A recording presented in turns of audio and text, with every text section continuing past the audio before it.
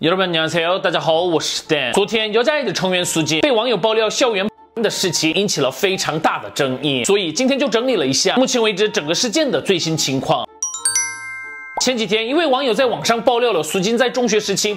自己亲妹妹的事情，因为就在前一阵子，也有过一位网友上传毕业专辑作证后爆料过苏金，所以这次相信爆料的网友们也变得比较多。因此，所属公司也是马上回应媒体，目前已经认知到这个事情，正在向本人确认事实。然后大约过了六个小时之后，所属公司正式声明，透过与本人确认，留言的人是苏金中学同学的姐姐。当时苏金跟同学用电话吵架的时候，在旁边听到的姐姐接了电话，也跟苏金吵起来了。但是那位网友主张的。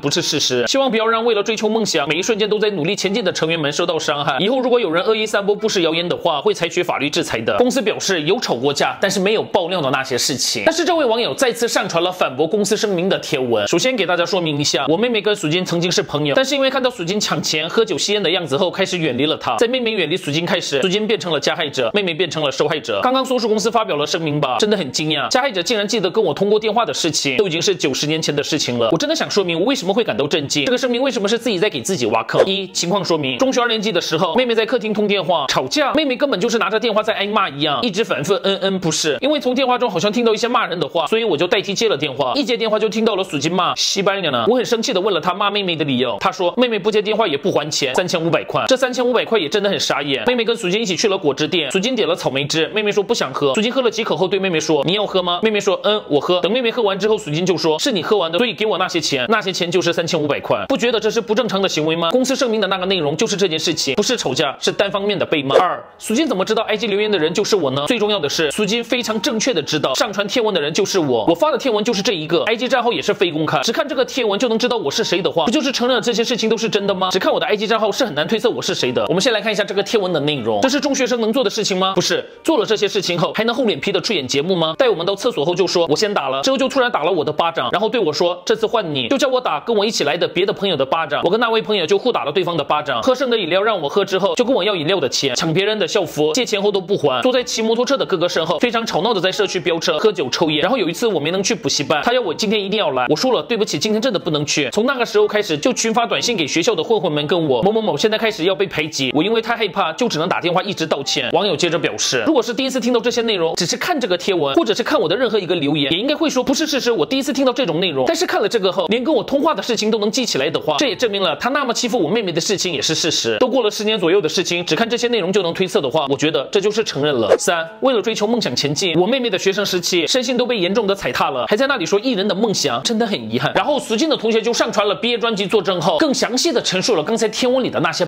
内容，然后也表示，现在重新揪出这些记忆也是非常痛苦，因为学生时期遭到的那些事情，我患了血小板减少症。但是有一天，我在 Never 看到了有人爆料苏金的贴文，也看到了粉丝们非常不像话的在护航，对我姐姐的留言也是非常无理的否认我曾经遭遇过的事情。我真的想把我的记忆拿出来给大家看。学生时期，因为是混得好的混混，让我的学生时期委屈的被踩踏，遭到那些事情。不想因为现在是有名公司的艺人，也是粉丝们爱惜的爱豆，我要再次受到委屈，就是因为那些粉丝，所以更想要公开。有人说，那为什么没有在一出道就爆料？如果那个时候爆料的话，会有人关关心吗？看到这文。章后，希望曾经跟我一样的受害者们能鼓起勇气。粉丝们威胁辱骂我跟我父母的 DM，我也都截图下来了。现在有很多人发爆料文给我，我会观看所属公司的对应后，为了妹妹奋战到底。想要硫酸烟的人，希望能先想一下自己的家人如果遭到这种事的话。目前除了这对姐妹之外，也出现了其他网友的爆料文，甚至也有位自称是因为苏金的。而转学的网友公开了自己的学生生活记录簿作为证据后，爆料了更多苏金的过去。因为这位姐姐是以本人的 IG 账号在留言发文，而且在所属公司的提告声明下，也是更详细的上传了反驳文。接着也出现了其他受害者们的爆料。然后最重要的是，在月初，曾经有位自称是演员曹新乃好友的网友爆料了曹新乃在学生时期也被苏金的事情。而今天凌晨，曹新乃突然在 IG 上传了这样的现实动态，不要再搅。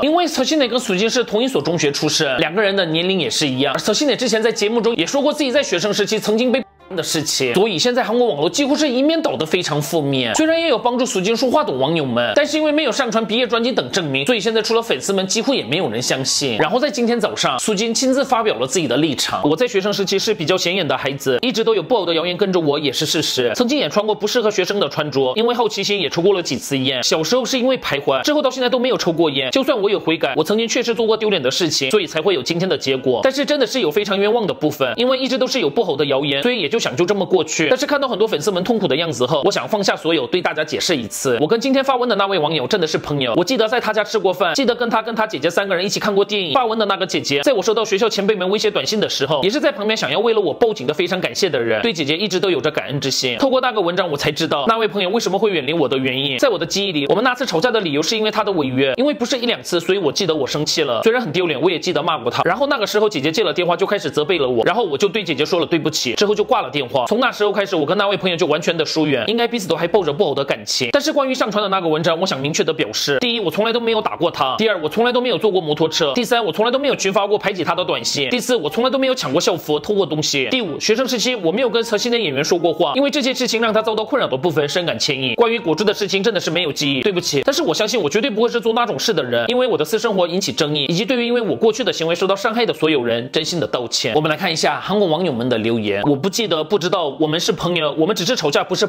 对我的谣言虽然不好，但是我也是很冤枉。这不是典型的加害者思维吗？好恐怖！不想退团，所以在挣扎。一直这样固执的话，可能会毁了团体。赶紧退团吧！一开始被爆料的时候就道歉的话，粉丝们还可以护航，说现在有悔改。现在否认还说要提高，结果只是证明了过去跟现在人还是没变而已。受害者都公开了自己的身份，还需要什么呢？也不是一两个受害者，连内容都这么详细。平常的话就会先占中立，但是侧信的为什么会爆料呢？如果被发现是造假的话，他的演艺人生也会完蛋的。应该就是有理由才会冒着负担上传了吧？但是也有少数这样的留言，本人都出来解释了，为什么为什么就不肯相信呢？没有什么证据，只是以记忆就要毁掉一个人，真的觉得是不应该。然后在苏金发文之后，那位反驳公司声明文的苏金同学的姐姐，也在一位网友苏金发了否认声明，姐姐应该也会上传什么吧的留言下留言，会上传的，因为她都不记得，真的会给受害者造成一生的阴影，不是被迫道歉就可以解决的事情，一定要接受相应的惩罚。但是就像之前庞继后那件事情一样，很多时候爆料的内容也未必是真的，也不能随便就相信，所以。